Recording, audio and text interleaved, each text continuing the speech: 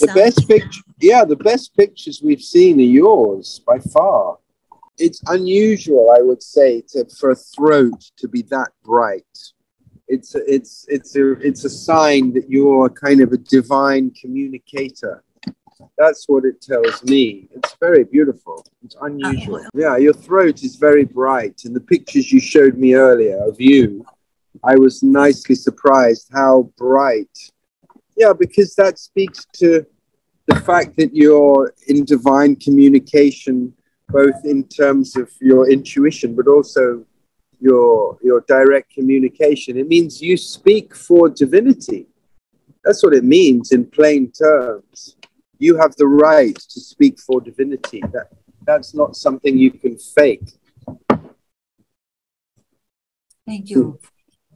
Yeah. I was very, uh, uh, all these 13 days, I was very much accused about my channelings and about uh, uh, my communication. And uh, now this is great that I hear it. it's your picture that's telling me what to tell you. That's all. That's the truth. You know, the real, the real stuff. Yeah, that's a beautiful. Here, here is, a bit uh, less.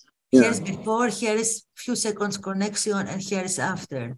Nice, nice, nice. Yeah. That's really powerful. I have, I have, an issue with a teeth here, a tooth here, and you can see, yeah, you see, yeah. probably my, my tooth that has the problem, I think, right? Yeah, but there's also a great improvement in the symmetry, like in the picture on the left hand side, in the background, the colors are very asymmetrical. And on the other picture, there's more balance coming in around your head as well. You see what I mean? Here, when I'm connected, right?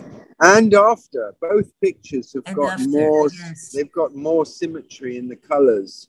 Um, yeah, I mean, this is a beautiful set of pictures, actually. Um, this set of pictures is actually really good. I mean, like, wow, I'm I, I like that.